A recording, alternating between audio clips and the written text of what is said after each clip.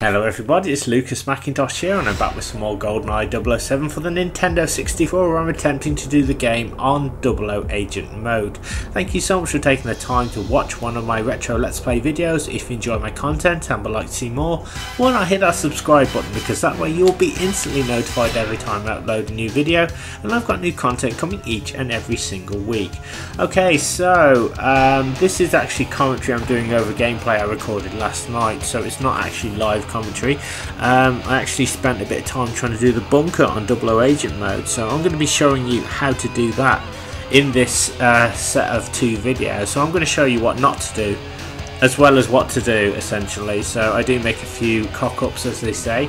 But to be honest um, I never thought I'd find myself saying this. I think the bunker on 00 agent mode might just be my favourite mission of all time. It's so cool when you know what to do so here we go, let's do it. Bunker, double O agent. We need to compare staff and casualty lists, recover the CCTV tape, disable all security cameras, recover the GoldenEye operations manual and escape with Natalya Simonova, who is Bond's cellmate. Right, let's get the background and then the briefing. Escape is the first priority. Find the staff and casualty lists and the CCTV tape of your capture. If there are any witnesses, try and bring them out as well. Unbelievable 007. If this gets out, we'll be the laughing stock of the international community. As soon as you get back, if you get back, you're getting a performance review. Only completing the objectives will give you a hope of keeping your rather checkered career intact. Okay.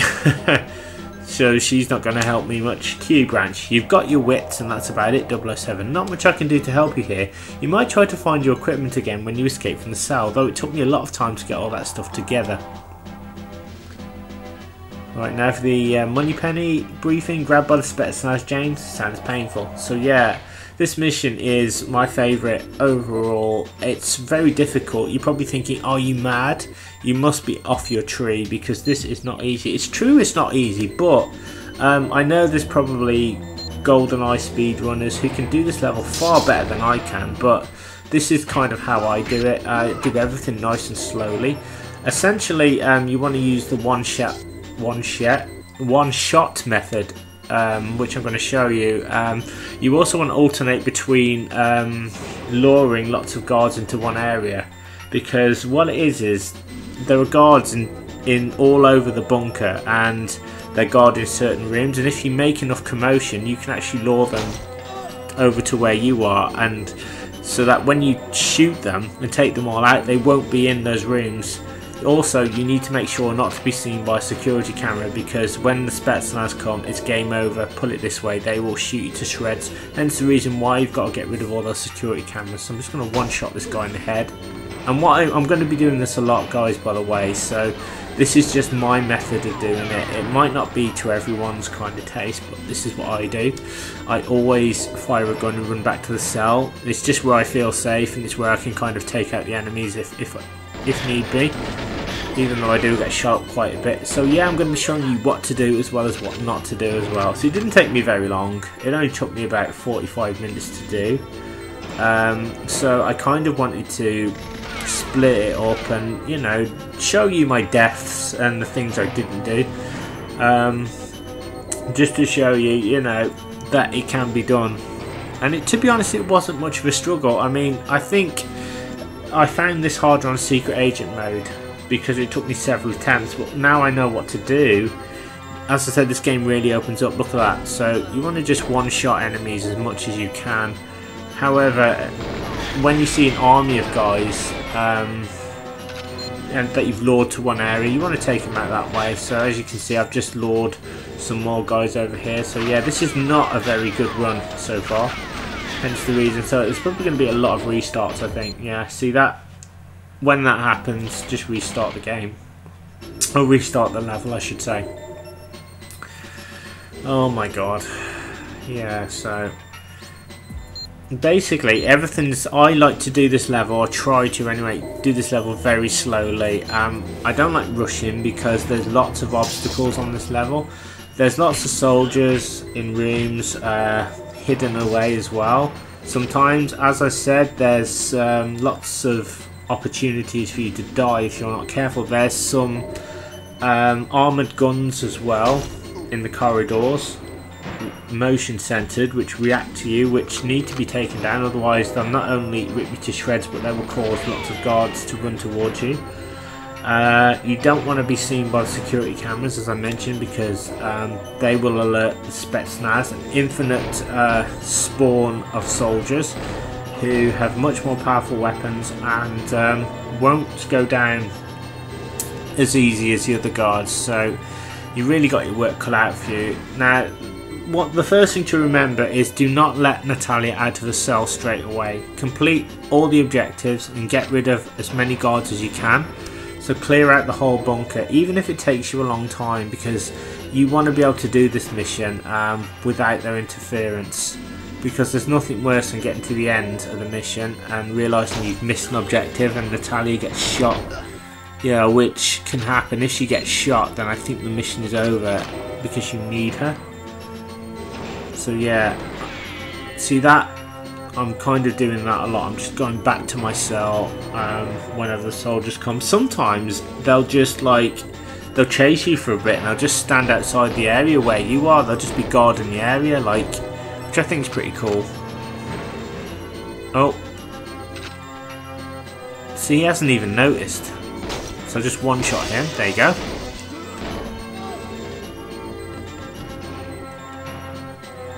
So doing it this way also means you pick up key cards and the casualty list. Some of the objectives you're probably thinking, oh my god, I'm never going to be able to do it.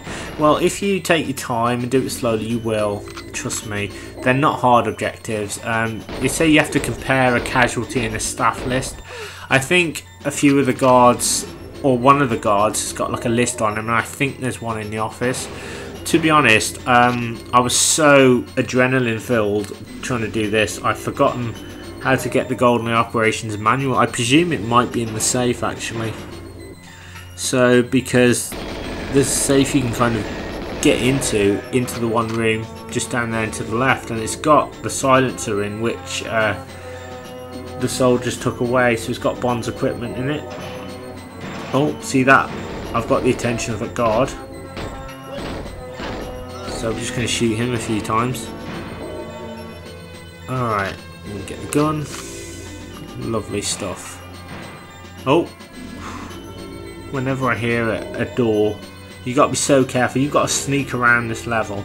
So, I think one of the reasons why I failed at this game as a kid was because I mistook what what people would say was was I can't get the words out. What people would say was stealth in this game.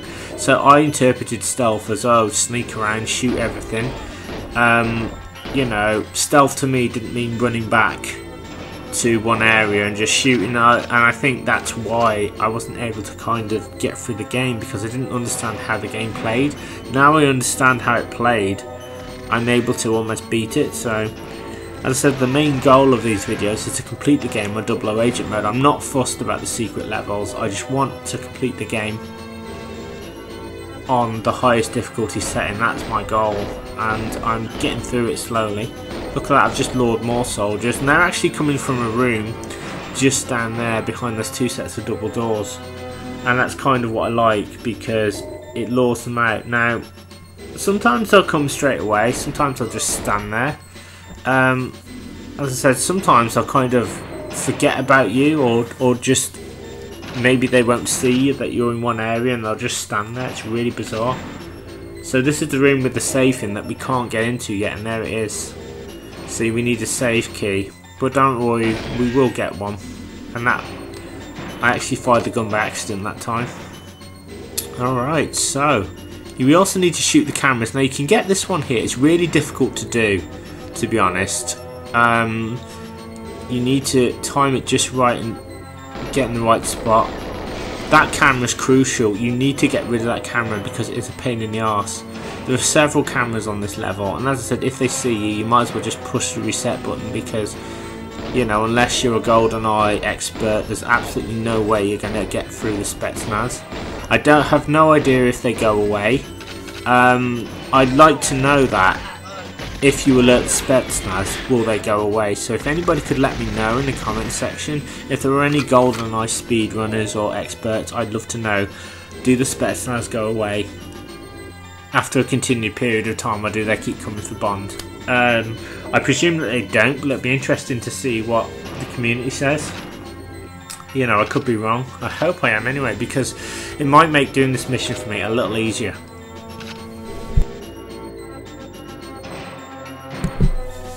Okay, so I've got rid of that crucial camera, so there are like a few more, which I will get rid of, and they're far easier. However, there is one that might catch you out. This is the room where um, it's easy to die. You do not want to enter this room directly, just create a bit of commotion and then run away. Because this lures a few guards out, and don't be fooled when a few guards come out because there are actually more in that room hiding behind corners. It really is one of these levels, so just... But as I said, this is what I meant when I said about alternating between firing one shots and a load of shots. You need to lure some guards out so you can get their keys and stuff. So yeah, had I known this when I was a kid, I would have been able to get through this game no problem. But like doing this level, I had the biggest adrenaline rush I'd ever had in a video game you know. Uh, particularly, in fact, it's not just this level, but I had the same one on the silo. My heart was beating really fast, and I kind of thought, oh my god, the Spetsnaz are coming out, but they don't. Oh, see that? That's what I'm talking about. He's like just chilling there. But as I said, don't be fooled. There's still more guards in this room. I suppose, like, if I was a more proficient player, I would go in and just shoot them. I don't think that would alert more guards, but I don't want to take the chance. Uh, better safe than sorry, to be honest. See, look, the guards all want a piece of me now, so I'm luring them out of that room. So essentially what I'm doing, guys, is I'm getting rid of all the guards in the bunker, one by one or bit by bit, so I can have free reign of the bunker. Get rid of the cameras so that the Spetsnaz can't be alerted. Um, getting all the stuff that I need as well. Getting rid of those drone guns, that's what they're called drone guns, there's like some in the corridor, and they can easily cut you down if you forget about them. Once you get rid of all of them, then essentially, as long as you don't do anything, I'm not sure if you can still alert the Spetsnaz without the cameras. I'm sure you can't, but you've got free reign of the bunker then, and you and Natalya can escape. So, as I said, don't let Natalya out to the very end you want to clear this whole area out because that's that's like a big mistake. That's that's a mistake that I made straight away. I thought I've got to let her out but you have to take into consideration there's guards everywhere and there's another one. Okay. I'm getting better with my strafing as well so as I said this game's really opening up for me. I'm loving it the more I play it. I'm loving the challenge. I'm not too frustrated by it um, because I kind of you know I've almost got this figured out now so I'm almost uh, reaching my goal of doing this on Double Agent and it's very exciting for me. There you go, look at that, I'm just one-shotting these guys to death. And as I said, you can have so much fun with this game as well. I never get tired of like shooting the guards and you know doing different things and finding new ways to get through the level. See that they're dropping guns as well, and there's there's always like a key or something. One of the soldiers does drop a key for the safe, so there's there is always that. Right, I think there's you see that there's like another guard there, but he's not seeing me. So there's a few in this area, and they are kind of very sneaky. So you've got to be so careful.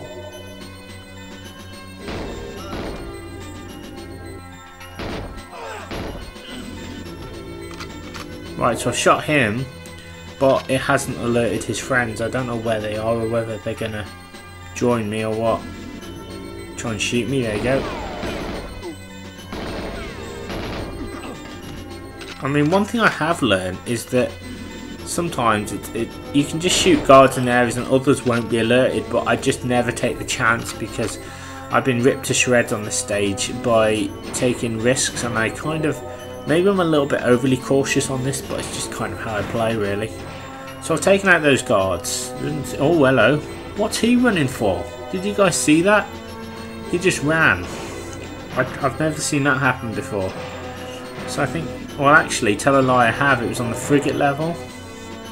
He kind of, there was like, I created a commotion and I had like three guards come in and like, one randomly just ran up the stairs and started running around like a maniac, so I think the AI screwed up. Right. It looks like there's a guard out there, I could be wrong. It looks like there's one standing outside the door. I don't know, it could be my eyesight, but you never know. I'm not taking any chances anyway.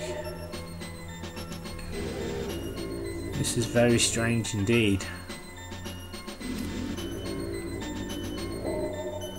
Poor Natalya. Having to watch me do this.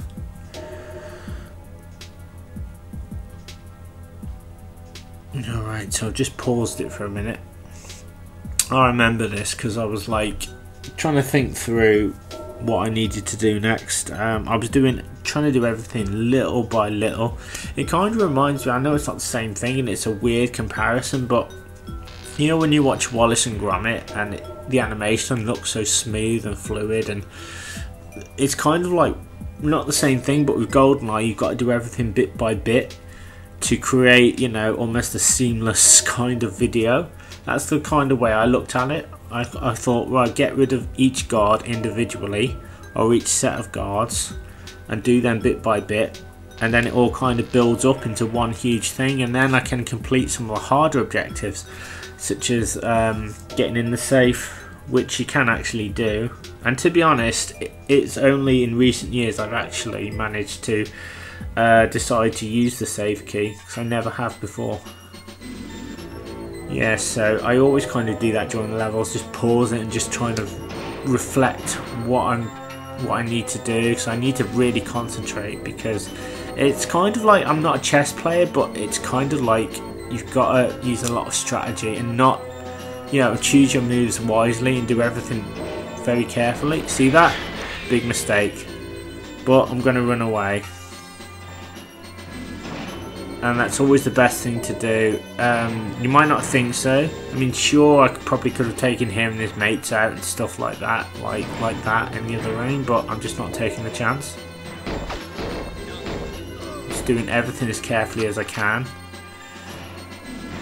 And once you get rid of the cameras and, and the guards and the drone guns, then essentially you've done the mission. You don't need to worry. Oh, hello. See that? There's another guard there. Oh, Christ almighty. See, that's why I do everything, try and do everything carefully because things like that happen, so you have to anticipate for that. That things are going to go wrong. I think there might be something in that room actually. I'm sure there's like a videotape or something. See, there's a guard there, and he's not really doing anything, so we'll just shoot him in the face. Alright, have I got everyone in this room? Right, okay. There's a document on the table. I don't know what that is, but we'll take it. Objective A completed. So, we've done one of the objectives. So, now I'm going to try and take care of those drone guns and enemies. See that? I like to shoot the drone gun and then run away because it might attract attention. It might seem like a waste of time, but again, better to be safe than sorry. I always do this, retreat back to my cell.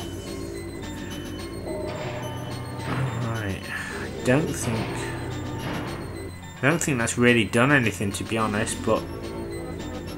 Sometimes you can like... You won't know what's happened until you see the guard, like I'll probably go back to the area and there'll be a guard just... Just like I said, just standing guard outside. A guard standing guard sounds sounds well doesn't it? Or soldier standing guard I should say. So that's why I'm like always being super careful. Okay, I just do not want to take any chances and screw this up. So we've got rid of one drone gun. I think there's like three sets or something in this uh, striped corridor. So let's just slowly look around the corner and strafe. I'm doing this very slowly, very carefully. Does not look like anything there actually. Okay, oh, see it. There's drone gun there. I'm going to get rid of that one. That's drone gun number two. Again, I'm running away. Might attract unwanted attention. So just go back into the cell. Very monotonous, but this is just like, this is just how I do it. I actually prefer this method. I suppose once I get better with the game, I'll probably be a bit braver. You know, once I kind of... But I feel like I've developed some skill, you know, playing this game. I never thought I'd get to the stage where I'd be doing these levels on the higher agent difficulty. You know, I always thought it was impossible, but it's really not. Once you break it down, it's not that bad. Some missions you can just rush. See that? The guard there standing, waiting for me. And there's yet another drone gun somewhere. That's on there see that? Okay. Run. Oh my god.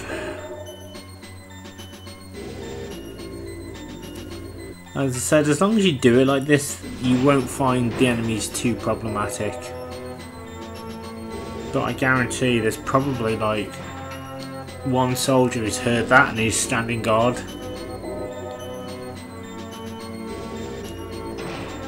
Make, it kind of makes the corridor safe doing it like that. So I'm just going to check this way. As you can see I got rid of that camera. Right.